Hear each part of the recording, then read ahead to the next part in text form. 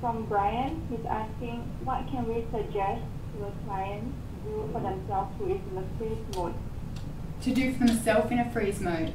So anything that invites movement um, or anything that invites connection.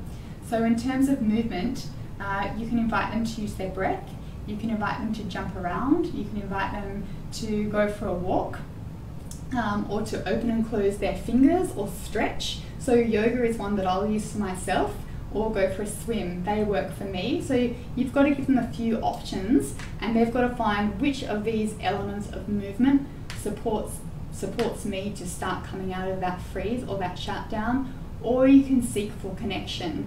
So if you've got a cat or a dog, um, you know, connecting with your pet can be really good texting or having a call to someone can be really good too. So when we're shut down and we're frozen, we're trapped and alone inside ourselves. So if we seek safe connection, that in itself can be enough. Um, a lot of people in a freeze won't. They will isolate. So it's something they need to learn.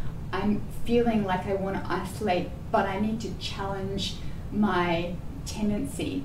Um, and, and that's starting to work with challenging miscalibrated patterns in the nervous system because the tendency is toward isolation, but what is required is connection. And so that takes a bit of psychoeducation and conscious awareness.